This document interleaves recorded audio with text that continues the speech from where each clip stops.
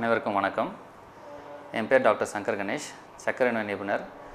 நான் வந்து பார்த்திங்கன்னா இங்கே ஷேன்பாக்கத்தில் கிருஷ்ணவேணி கிளினிக்கில் வந்து கிட்டத்தட்ட பன்னெண்டு வருஷமாக நான் வந்து கிளினிக் ரன் பண்ணிகிட்ருக்கேன் இப்போ வந்து அந்த கிருஷ்ணவேணி கிளினிக் வந்து இங்கே முள்ளிப்பாளையத்தில் ஏஎஸ்சி கிளினிக்காக பேர் மாற்றப்பட்டு இன்னும் மிக சிறப்பாக வந்து இங்கே திறந்துருக்கேன் நான் இந்த கிளினிக்கு இங்கே ஏஎஸ்சி கிளினிக்கில் பார்த்திங்கன்னா சக்கரை நோய் இரத்த அழுத்தம் இருதய நோய் மகப்பேறு மருத்துவம் குழந்தை மருத்துவம் குழந்தையின்மை மருத்துவம் மற்றும் இரத்த பரிசோதனை இசிஜி இந்த மாதிரி அனைத்து சேவைகளும் மிக சிறப்பான முறையில் மக்களுக்கு வழங்கி கொண்டிருக்கிறோம் நாங்கள் ஸோ இந்த ஏஎஸ்ஐ கிளினிக்கு மூலமாக நான் வந்து வழங்கக்கூடிய சர்வீஸில் ஒரு சில கருத்துக்களை நான் உங்களுக்கு ஷேர் பண்ண விரும்புகிறேன் நான். இப்போ பார்த்திங்கன்னா இந்த கொரோனா வந்து காலகட்டத்தில் பார்த்திங்கன்னா இப்போ ஏற்கனவே நீங்கள் பார்த்துருப்பீங்க இந்த மே மாதம் ஏப்ரல் மாதம் ரொம்ப பீக்கில் இருந்தது.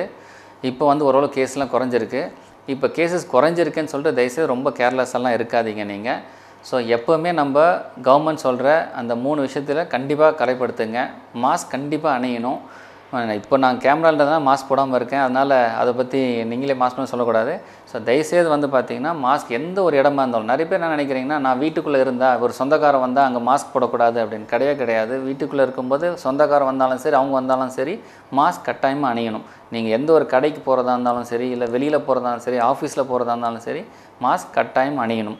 இன்னொன்று சமூக இடைவெளி. குறைஞ்சபட்சம் நீங்கள் கடைக்கு போகிறதா இருந்தாலும் சரி ஆஃபீஸ் போகிறதா இருந்தாலும் சரி சமூக இடைவெளி கட்டாயமாக பின்படுத்துங்க அது. அண்ட் ஒன்று இன்னொன்று பார்த்தீங்கன்னா கை கழுவுதல் சானிடேஷன் அது நீங்கள் வீட்டில் இருக்கும்போது நீங்கள் அந்த சானிடைசர் இது வச்சுருந்தாலும் சரி வீட்டுக்கு போகும்போது கட்டாயமாக கை காலில் நல்லா கழுவிட்டு அதுக்கப்புறம் தான் உள்ளே போகணும். ஸோ இந்த மூணு விஷயத்தையும் கட்டாயமாக கடைபிடிக்கணும். இப்போ கேஸ் குறைஞ்சிச்சின்னு சொல்லிட்டு கேர்லெஸ்ஸாக வந்து இந்த திருமணத்துக்கு போகிறது இல்லை ஃபங்க்ஷனுக்கு போகிறது இந்த மாதிரி ஃபங்க்ஷனுக்கு போய் கூட்டமாக கூடி நின்று அந்த மாதிரி பேச வேண்டாம். ஸோ தயவுசெய்து எங்கே போனாலும் இந்த மாஸ்க்கு சானிடேஷன் சமூக இடைவெளி இதை கட்டாயமாக பின்படுத்துங்க. கவர்மெண்ட் சொல்கிற எல்லா விஷயம் ஃபாலோ பண்ணுங்கள் மிக முக்கியமாக வேக்சினேஷனை கண்டிப்பாக போடுங்க. ரெண்டு டோஸு வேக்சினேஷன் கண்டிப்பாக போடுங்க. இதை போடுறதுனால எந்த ஒரு பக்க விளைவும் வரல. மேக்ஸிமம் போனால் ஒரு ஃபீவர் வரும். இல்லைன்னா ஜுரம். ஒரு ஒரு நாள் இருக்கும் ரெண்டு நாள் இருக்கும். அதுக்கு பேராசிமல் போட்டாலும் சரியாயிடும். அதை தவிர்த்து எந்த ஒரு பக்க விளைவும் இல்லை. ஸோ தயவுசெய்து வேக்சின் வந்து எந்த ஒரு தயக்கமும் இன்றி எல்லாரும் வந்து போட்டுக்கணும்னு நான் கேட்டுக்கொள்கிறேன் கவர்மெண்ட் சொல்கிற எல்லா ஸ்டெப்பும் வேக்சினேஷனும் கண்டிப்பாக போட்டுக்கோங்க. ஆஸ் அ சக்கரநோய் நிபுணராக பார்த்தீங்கன்னா நிறைய பேருக்கு பார்த்தீங்கன்னா சக்கரை நோய் பற்றி ஒரு ஒரு தவறான கருத்து இருக்குது அதாவது சக்கரை நோய் வந்துட்டால் நம்ம எதுவுமே செய்ய முடியாது. அவ்வளோதான் நம்ம வாழ்க்கை முடிஞ்சிடுச்சு அந்த மாதிரிலாம் சொல்லிட்டு யோசிக்கிறாங்க. அப்படி கிடையாது. சக்கரை நோய் ஃபஸ்ட்டு என்னன்னு தெரிஞ்சுக்கணும். அதாவது நீரிழிவு நோய்னா என்னன்னு சொல்லிட்டு. சக்கரை நோய்னா நம்ம உடம்புல வந்து நம்ம சாப்பிட்ற உணவு வந்து ஜீரணிக்கக்கூடிய அளவுக்கு உழைப்பு இல்லாதது தான் சக்கரை நோய் நம்ம சாப்பிட்ற உணவு நம்ம ஜீரணிக்க அளவுக்கூடிய உழைப்பு இல்லை.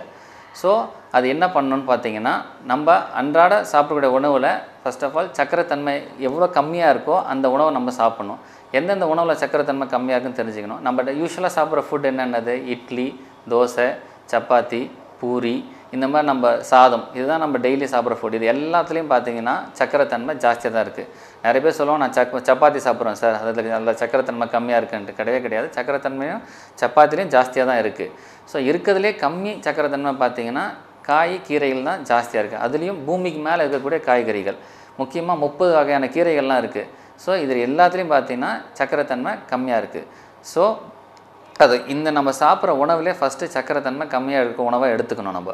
நம்ம காலையில் காலை மதியம் நைட் அந்த மூணு உணவு எடுத்துக்கிட்டிங்கன்னா கூட காலைல நீங்கள் சாப்பிட்ற ஃபுட்டுனா ரொட்டீனாக இருக்கும்? இட்லி தோசை இந்த மாதிரி தான் இருக்கும். அதை வந்து நான் நாலு அஞ்சு இந்த மாதிரி எடுக்காமல் ஒன்று ரெண்டுன்னு எடுத்துக்கிட்டு மிச்ச பாதி அளவு இட்லி இருந்தாலும் பாதி அளவு காய்கறியாக எடுத்துக்கணும் நம்ம.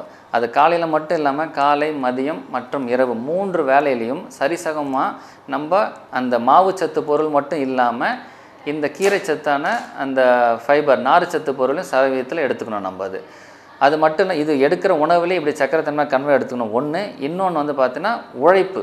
நம்ம உழைப்புன்னு பார்த்தோன்னு வச்சு நிறைய பேர் நினைக்கிறாங்க வந்து வாக்கிங் போகிறேன் சார் நான் இது பண்ணுறேன் சார் நம்ம வேலை செய்கிறேன் சார் வீட்டு வேலை செய்கிறேன் ஆஃபீஸ் வேலை செய்கிறேன் அதுலேயே எனக்கு குறைஞ்சிரும் நினைக்கிறேன் கிடையாது.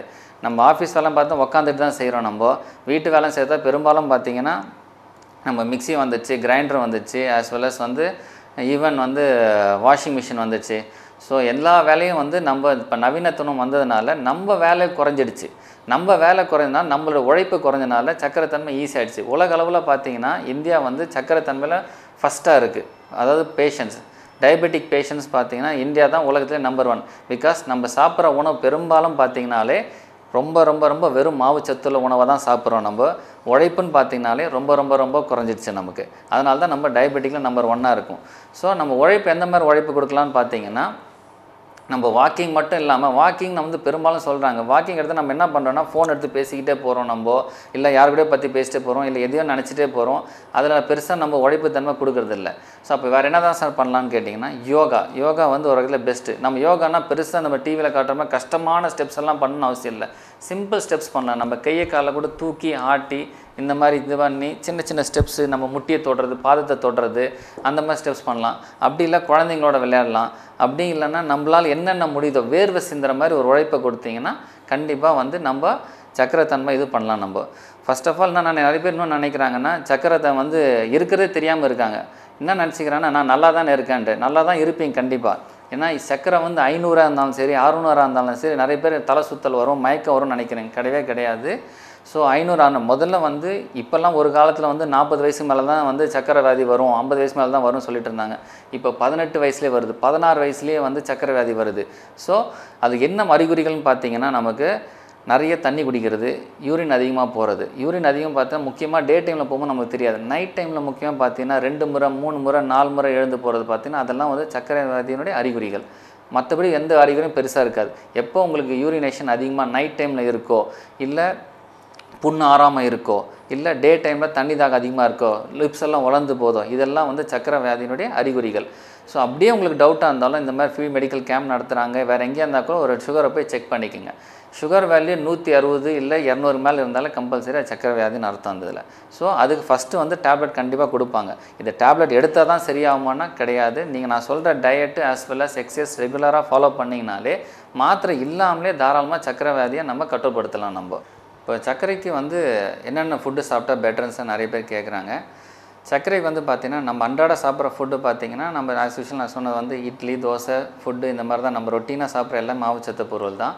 ஸோ அதில் எல்லாமே சர்க்கரை தன்மை ஜாஸ்தியாக இருக்குது அதிகமாக கம்மியாக இருக்கிறது வந்து பார்த்திங்கன்னா நம்ம கீரை காய்கறிகள்.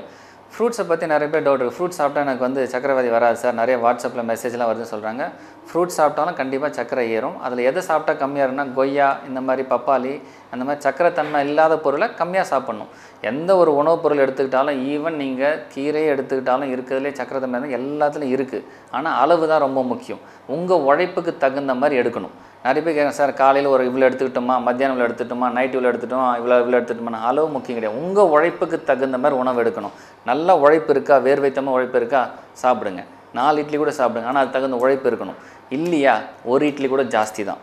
ஸோ நீங்கள் வந்து ரெண்டு இட்லி சாப்பிட்றீங்களா மூணு இட்லி உங்கள் உழைப்புக்கு தகுந்த மாதிரி தான் சாப்பிட்ணுமே தவிர ஸோ அது இட்லியாக இருக்கட்டும் தோசையாக இருக்கட்டும் எவ்வளோண்ணா எவ்வளோ அளவு நிறைய பேர் ஸ்வீட்ஸ்னு சொல்கிறாங்க ஸ்வீட்ஸ் நிறைய பேர் என்ன நினைக்கிறேன் ஸ்வீட் சாப்பிட்டா தான் சக்கரை வியாதி வரும். நம்ம அன்றாட ஃபுட்டு சாப்பிட்டாலாம் சக்கர வியாதி வராதுன்னு நினைக்கிறாங்க. கிடையாது. நம்ம சை டெய்லி சாப்பிட்ற ஃபுட்டுனாலையும் சக்கர வியாதி வரும். நம்ம சாப்பிட்ற ஃபுட்டே பார்த்தீங்கன்னா நம்ம சாதமே எடுத்துக்கிட்டால் கூட அதை எடுத்து செரிமானமாகி சக்கரை கலக்கிறதுக்கே ரெண்டு மணி நேரம் ஆகும் அந்த இதில். அதுக்கே நம்ம வேணான்றோம். ஸ்வீட்லாம் சாப்பிட்டிங்கன்னா பத்தே நிமிஷத்தில் நம்ம சக்கரை ஆகிடும் ஃப்ரூட்ஸ் எல்லாம் சாப்பிட்டீங்கன்னா கூட ஒரு ஆஃப் அன் ஹவர்லேயே சக்கரை தன்மை ஜாஸ்தி ஆயிரும். ஸோ இதெல்லாம் எவ்வளோக்கு எவ்வளோ நீங்கள் கம்மியாக எடுத்துக்கணும். சாப்பிடக்கூடாதெல்லாம் கிடையாது. சாப்பிட்லாம். அளவோடு சாப்பிட்ணும் நம்ம. உங்கள் உழைப்புக்கு தகுந்த மாதிரி சாப்பிட்ணும். அப்படி சாப்பிட்டீங்கன்னா கண்டிப்பாக சக்கரை தன்மை சக்கரை வியாதியை நம்ம வராமல் கட்டுப்படுத்தலாம். வந்தாலும் அதை கரெக்டான அளவில் நம்ம கட்டுப்படுத்தி வச்சுக்கலாம் நம்ம அது சரிங்களா? ரத்த அழுத்தத்துக்கு என்ன நினைக்கிறாங்கன்னா நிறைய பேருக்கு நான் தலை சுத்தல் நூற்றி எண்பது வரும் இரநூறு இருந்தால் வந்து தலை சுத்தல் வரும் அந்த மாதிரி நினைக்கிறாங்க. அதுக்கும் அந்த மாதிரி கிடையாது. அது நூற்றி எண்பது நூற்றி அறுபது இருந்தாலும் சரி உடனே வராது. ஸோ எந்த ஒரு சிம்டம்ஸும் தெரியாது. ஸோ நம்ம அந்த சிம்டம்ஸ் தெரியலன்னு சொல்லிட்டு நம்ம அமைதியாக இருந்துட முடியாது. ஸோ இமீடியட்டாக எங்கெல்லாம் நம்ம உங்களை ஒரு ஜென்ரல் செக்கப் பண்ணும்போது நீங்களே உங்களை செக்அப் பண்ணிக்கிட்டு அதில் பிபி நார்மலாக இல்லையான்னு சொல்லிட்டு மருத்துவர் அணுகிட்டு அதிகமாக இருந்தால் டெஃபினட்டாக டேப்லெட் எடுக்க வேண்டியதாக இருக்கும் அந்த இதில். ஸோ இது எதுவுமே டேப்லெட் எல்லாம் கண்டிப்பாக கொடுத்த முடியாது. பிபி எப்படி சர்க்கரைக்கு வந்து எப்படி சர்க்கரை தன்மை உள்ள ஃபுட்டு கம்மியாக சாப்பிட்ணும் எக்ஸசைஸ் பண்ணணும் பிபிக்குன்னு பார்த்தீங்கன்னா முக்கியமான காரணமாக இருக்குது ஸ்ட்ரெஸ்ஸு தூக்கமின்மை. நிறைய பேருக்கு பார்த்தீங்கன்னா ஸ்ட்ரெஸ்ஸு ஸ்ட்ரெஸ் இருக்கிறதே தெரியறதில்ல. நினைக்கிறாங்க நம்ம வீட்டில் ஒர்க்கில் போனால் ஒர்க் ஸ்ட்ரெஸ் இருக்கும் வீட்டில் வந்தால் வீட்டு ஸ்ட்ரெஸ் இருக்கும். அது எல்லாமே நம்ம மனசில் வச்சுருக்கறனால தான் பிபி வந்து ஜாஸ்தியாக இருக்கும். இன்னொன்று பார்த்தீங்கன்னா ரொம்ப மிக குறைவாக எடை போடுற விஷயம் வந்து பார்த்திங்கன்னா இன்சோம்னி அதாவது தூக்கமின்மை. நிறைய பேர் வந்து குறைந்தபட்சம் ஒரு நாளைக்கு வந்து ஒரு ஆறு மணிலேருந்து எட்டு மணி நேரமாக தூக்கணும். At least six to seven hours sleep வந்து கண்டிப்பாக தேவை. ஸோ இந்த ஸ்லீப் இல்லைன்னா கண்டிப்பாக ரத்த அழுத்தம் ஜாஸ்தியாகிறது வாய்ப்பு இருக்குது அதுவும் இல்லாமல் உணவு பர பழக்க வழக்கங்கள். நம்ம மாமிசம் அதிகமாக சாப்பிட்றது கொழுப்பு அதிகமாக சாப்பிட்றது. ஸோ இந்த மாதிரி இது இருந்தாலும் சரி கண்டிப்பாக பிபி அதிகமாக இருக்க வாய்ப்பு இருக்குது உப்புத்தன்மை அதிகமாக எடுத்துக்கிறதுனாலையும் சரி பிபி அதிகமாக இருக்க வாய்ப்பு இருக்குது ஸோ இது எல்லாமே ஃபஸ்ட்டு டைம் ட்ரீட்மெண்ட் ஸ்டார்ட் பண்ணுவாங்க with medications but medications continue பண்ணுமான்றது உங்கள் கையில் தான் இருக்குது நீங்கள் கரெக்டாக டயட்டு ஸ்ட்ரெஸ் இல்லாமல் தூக்கத்தோடையும் சரி எக்ஸசைஸும் பண்ணிட்டு வந்தீங்கன்னா பேசிக்காக லைஃப் ஸ்டைலே கம்ப்ளீட்டாக சேஞ்ச் பண்ணும். உங்கள் லைஃப் ஸ்டைல்னால தான் இந்த வியாதிகள் வருதுன்றது நீங்கள் புரிஞ்சுங்க. நீங்கள் எப்படி வாழ்கிறீங்களோ அதனால தான் இந்த வியாதி வருது. நீங்கள் வாழ்கிறத மாற்றினீங்கன்னா ஆட்டோமேட்டிக்காக அந்த வியாதியிலேருந்து நீங்கள் மாத்திரை இல்லாமலே நீங்கள் குணமடையலாம். ஸோ இங்கே வந்து பார்த்தீங்கன்னா இந்த எல்லா செக்கப்பும் இங்கே ஃபுல் டைம் காலைல நைன்லேருந்து பார்த்தீங்கன்னா evening ten o'clock night ten o'clock வரைக்கும் நாங்கள் பண்ணிகிட்ருக்கோம் இங்கே. எனி டைம் வந்து செக்கப் பண்ணிக்கலாம். டேப்லெட் இஷ்யூ பண்ணுறோம் அது மட்டும் இல்லாமல் எப்படி டேப்லெட் இல்லாமலும் நீங்கள் குணமடையலாம்ன்றது கூட இன்ஸ்ட்ரக்ஷன் கவுன்சிலிங் எல்லாமே இங்கே வழங்கப்படுறோம். ஸோ அதை நீங்கள் எல்லாம் பயன்படுத்திட்டு உலக நல நலத்தோடு இருக்கணும்னு நான் கேட்டுக்கொள்கிறேன். நன்றி வணக்கம்.